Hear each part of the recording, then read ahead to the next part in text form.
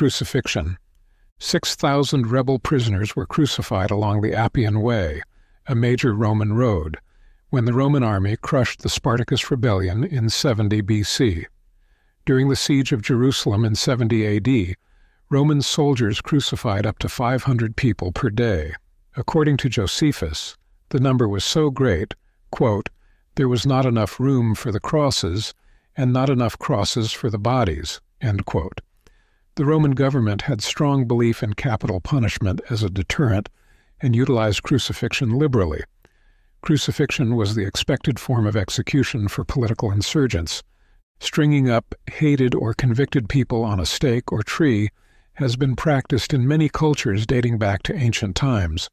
Crucifixion, however, was considered a particularly cruel form of execution to the point of obscenity.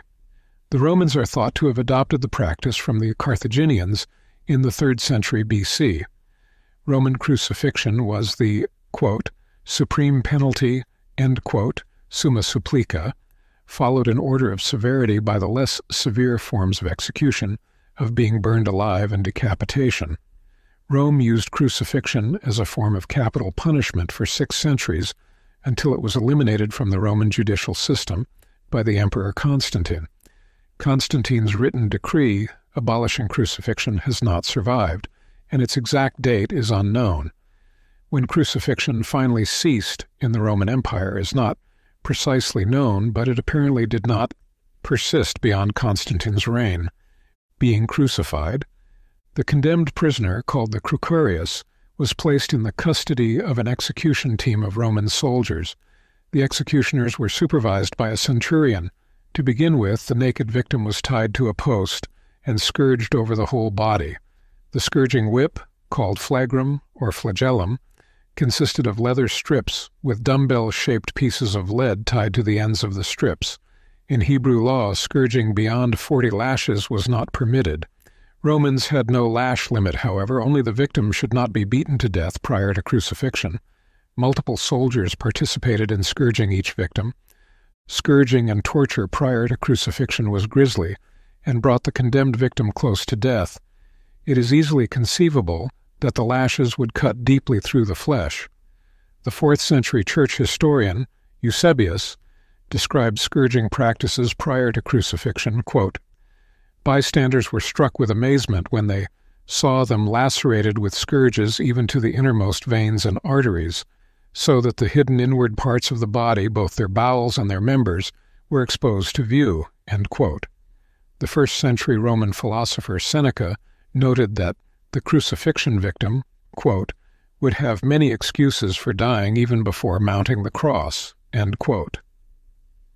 After scourging, the arms of the condemned prisoner were outstretched and tied to a single straight plank of wood called the patibulum.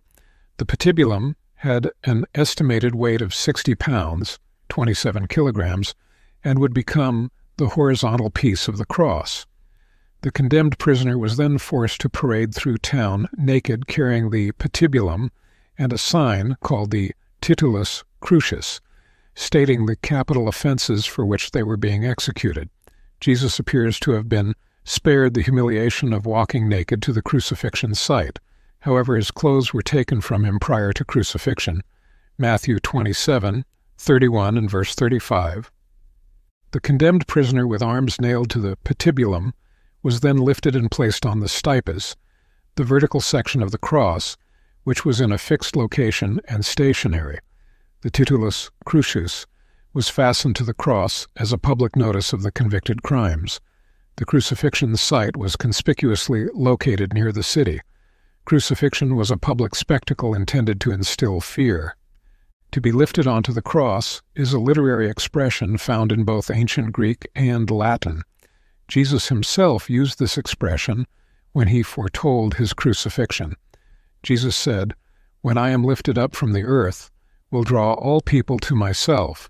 Now he said this to indicate clearly what kind of death he was going to die. John 12:32 to 33. Jesus again made reference to arms being fastened to a patibulum prior to crucifixion when he foretold how Peter would die. Jesus told Peter, I tell you the solemn truth, when you were young, you tied your clothes around you and went wherever you wanted, but when you are old, You will stretch out your hands, and others will tie you up and bring you where you do not want to go. Now, Jesus said this to indicate clearly by what kind of death Peter was going to glorify God. John 21:18 to 19. It is traditionally understood that Peter was crucified upside down, preaching to his executioners until he died. Positioning of victims on the cross could vary depending on the sadistic mood of the executioners.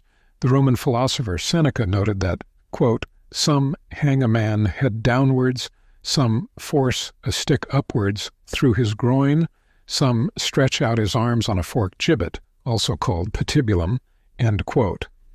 When Roman soldiers crucified hundreds of people per day during the siege of Jerusalem in 70 AD, Josephus reported that victims were placed on crosses in various postures, quote, by way of jest, after they had been tortured with all sorts of tortures.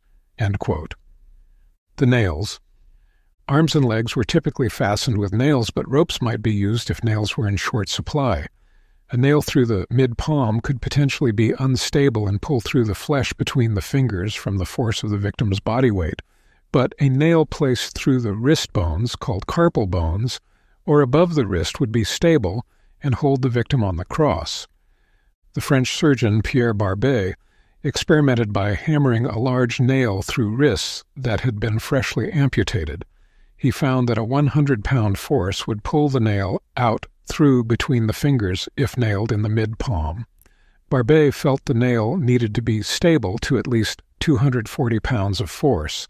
He found that hammering the nail through the wrist separated the wrist bones, called carpal bones, and the nail passed through Destot's space the area bounded by the hamate capitate, triquetral and lunate bones, without fracturing the wrist bones.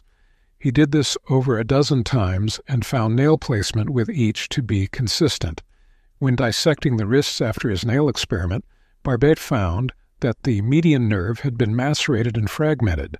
This kind of injury to the median nerve in the wrist would cause intense pain in the hand and up the arm.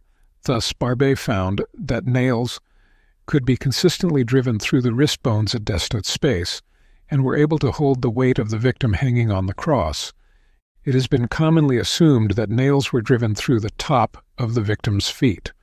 Artists typically portray Jesus' feet nailed to a small block of wood, called the suppedaneum, fastened to the front of the vertical section of the cross, the stipes. The suppedaneum is the product of artistic imagination, however, and was not part of Roman crucifixion practice. Nails piercing the top of Jesus' feet may also be an artistic invention. Archaeological evidence suggests it may actually have been common practice to hammer a nail through the heel. How many people were crucified by the Romans is unknown, but must have numbered in the hundreds of thousands. Yet, at this writing, archaeologists have found the remains of only two crucifixion victims. In 1968, bones showing clear evidence of crucifixion were found by archaeologists in the Givat HaMivtar area of Jerusalem. The victim is thought to have died in the early part of the first century. Both heel bones, called the calcanei, were found in an ossuary immersed in a syrupy liquid, stuck together and covered with a thick calciferous crust. The right calcaneus, the heel bone, had a large iron nail still in place. The tip of the nail was bent, making it impossible to remove. Removing the body from the cross would have been problematic with the right foot, secured in place by the bent nail. A horizontal cut mark on the right talus, part of the ankle joint, is thought to indicate that the right foot was amputated with an axe or hatchet in order to remove the body from the cross and then pry the foot and bent nail from the stipes. A nail had also been driven through the left calcaneus, also, but had been removed.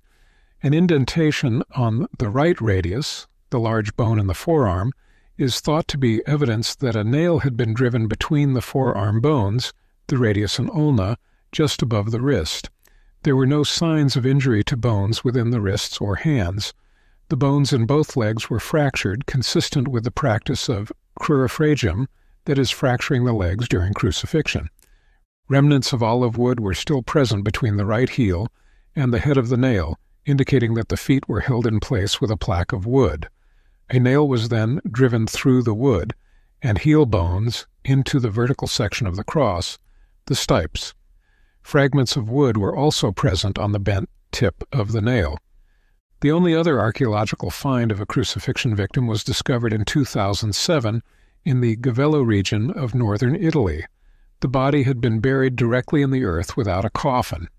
Similar to the Jerusalem find, there is a hole through the right calcaneus, the heel bone, apparently a puncture wound from a nail.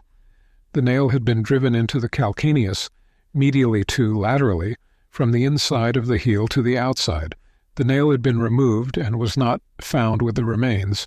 The left calcaneus was not found.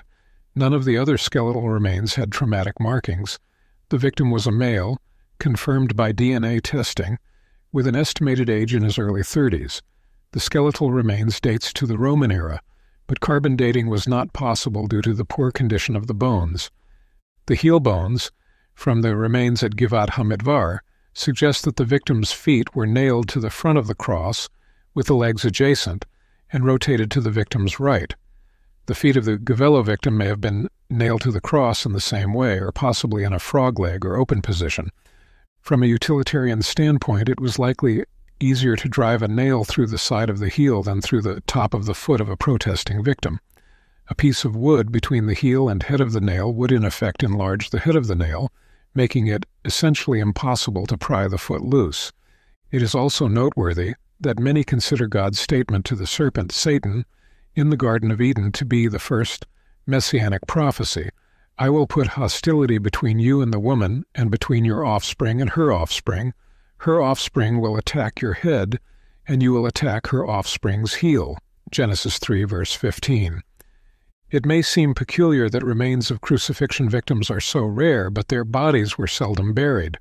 After death, corpses were left hanging on the cross to be devoured by scavenging animals. The low height of the typical Tau cross made dead bodies easily accessible to scavengers.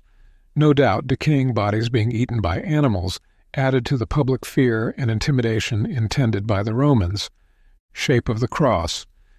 Romans executed prisoners by suspending them in a variety of positions. A simple upright stake or pole has been called the crux simplex, based on a description from Seneca, a first century Roman philosopher. A simple stake, crux simplex, was used to impale victims. Seneca stated, I see before me crosses not all alike, but differently made by different peoples. Some hang a man head downwards, some force a stick upwards, through his groin, some stretch out his arms on a forked gibbet.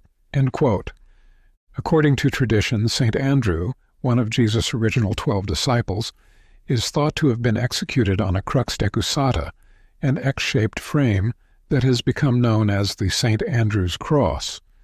Documents stating St. Andrew was executed on a crux decussata do not appear until the 10th century, however. Some historians doubt that this was used in the first century, Historical and literary evidence seem to be clear that the predominant method of Roman crucifixion was with the prisoner's arms outstretched on a cruciform structure. The Greek word translated cross in the Gospels is stauros. In ancient classical Greek, this had the specific meaning of an upright stake in the ground. This has caused some disagreement regarding the shape of the cross used for Jesus. The conundrum arises from a misunderstanding of New Testament language the New Testament was written in Koine Greek, meaning common dialect Greek, a post classical form of Greek that was the lingua franca of the first century Mediterranean world. Koine Greek transcended national boundaries and had variations in form as well as spoken vernacular. Translating Koine Greek as if it were classical Greek would introduce error in the translated text. Stauros in the New Testament is translated as cross, and in general terms means the instrument of death used by Romans for crucifixion. However, it is also used with the specific meaning of the horizontal section of the cross carried by the prisoner to the execution site, namely the patibulum. For example, stauros means patibulum when Jesus said to his followers, Whoever does not take up his cross, stauros, and follow me is not worthy of me. Matthew 10, verse 38. Most artistic depictions of Jesus on a cross show him on a crux immissa, with the vertical part of the cross extending above the horizontal beam. However, this is an artistic interpretation and appears to be erroneous. Literary references to crucifixion, including those external to the Bible, indicate the T-shaped tau cross, named for the Greek letter tau and shaped like the capital T in the English language, was the typical shape of cross construction. The cross was an implement of torture and death. For this reason, images of Jesus on the cross are not found in early Christian iconography.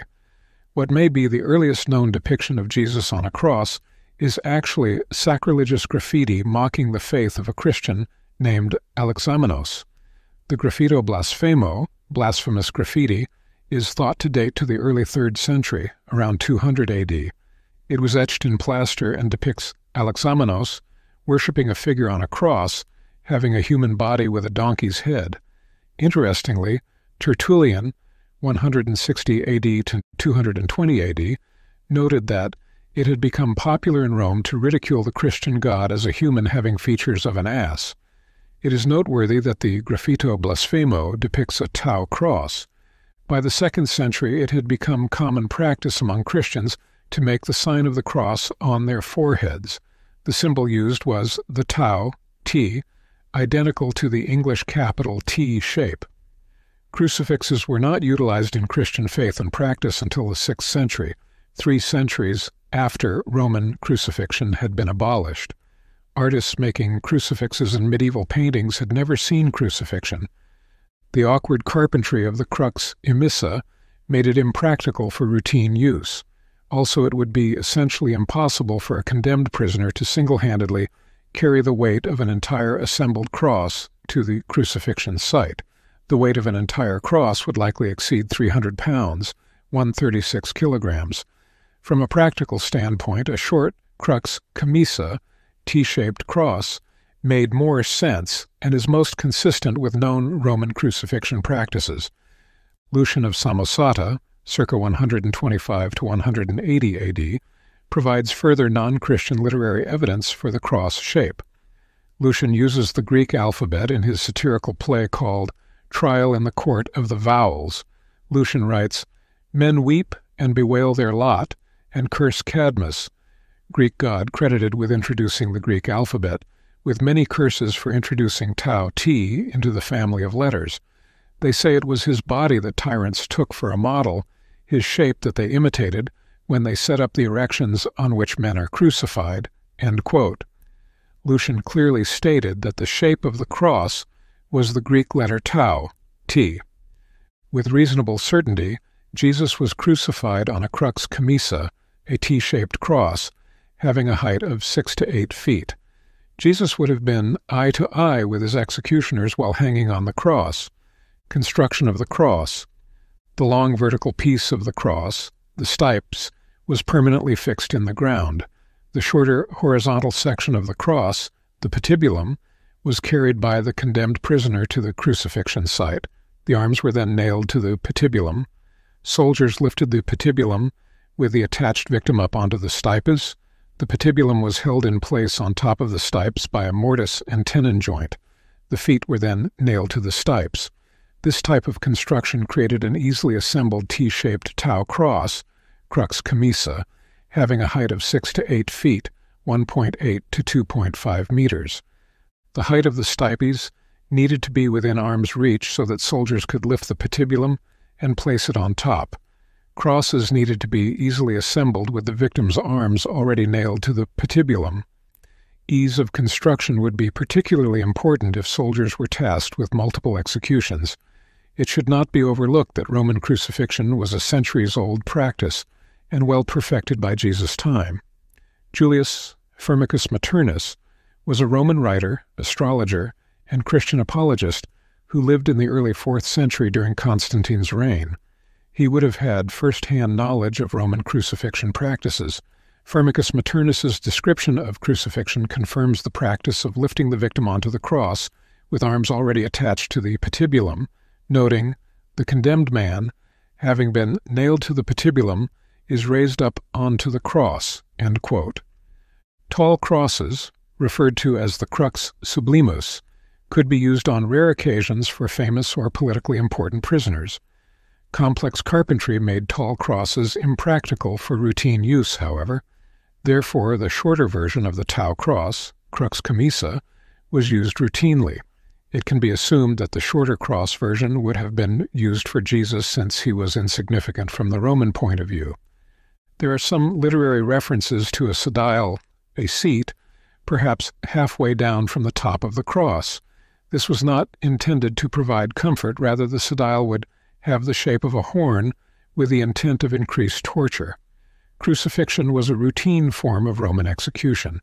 The carpentry demands of adding seats to crosses when it served no real purpose makes it unlikely that this was routinely done. Certainty of death. The soldier's task was to see that prisoners were successfully executed. Crucifixion teams were made up of professional soldiers who knew their job. They were trained in how to deliver a death blow, a sword or spear impaling the chest in the direction of the heart, as described in Jesus' case, would be the most straightforward way to deliver a coup de grace. This would collapse the lung and rupture the heart. Impaling the chest with a sword or spear may have been common practice in Roman crucifixion. Discipline within the Roman military was austere, if not inhumane. A guard who was caught nodding off and falling asleep during his watch was beaten to death, for example. Crucifixion teams were professional soldiers and experienced in executing prisoners. It can be safely assumed that soldiers on an execution team were credibly able to pronounce death. It was their job to assure that each condemned prisoner die. If a criminal convicted of a capital offense escaped crucifixion, it would mean certain death for the centurion and his soldiers. With reasonable certainty, Jesus died by crucifixion. A spear through the center of Jesus' chest finished the job and reassured the soldiers that he was irrefutably dead.